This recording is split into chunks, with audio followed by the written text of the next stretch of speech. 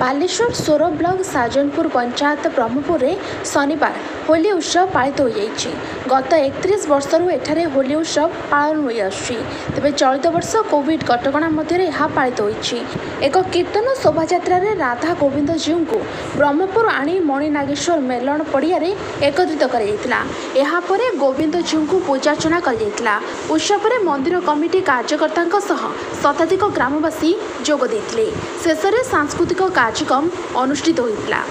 Baleshwar Dhiresh Chandra Behera report Odisha voice twenty four